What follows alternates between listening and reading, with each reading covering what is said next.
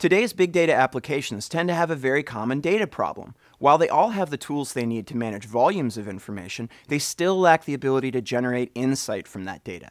And with traditional databases, this is pretty tricky. Legacy relational database management systems are great at managing lists of items, but cumbersome for defining how they relate to each other.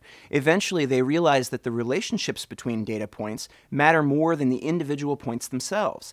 This is where Neo4j comes in.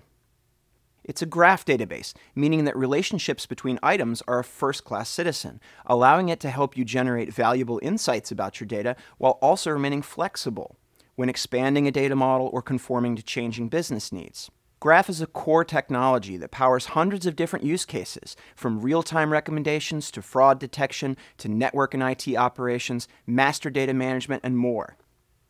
On the technical side, Neo4j fits along with any microservices you may develop, can be used with Neo4j's Bloom visualization or as a store for GraphQL-based applications, analytics services, or any other app deployed in a Kubernetes easily.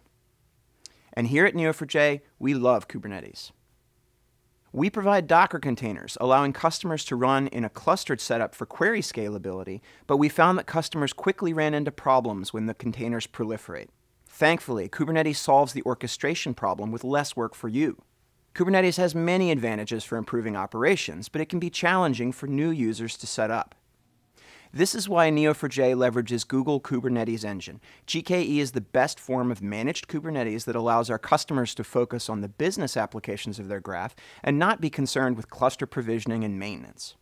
And with GCP Marketplace, you can go from zero to a working clustered graph database in less than five minutes. Simply choose the Neo4j solution, fill in some data, and get moving. It's a fast and easy way for you to get started.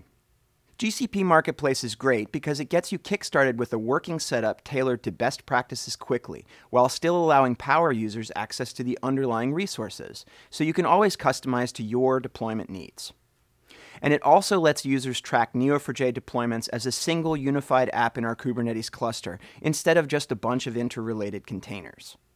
Google Kubernetes Engine combined with GCP Marketplace provide best-in-class services for our Neo4j users. It lets you get up and running fast so you can focus on your data and extracting the value from that rather than all of the work of setting up and managing your database clusters. If you'd like to know more, check out the links in the description below, and feel free to reach out with any questions or comments you may have. Thanks for watching.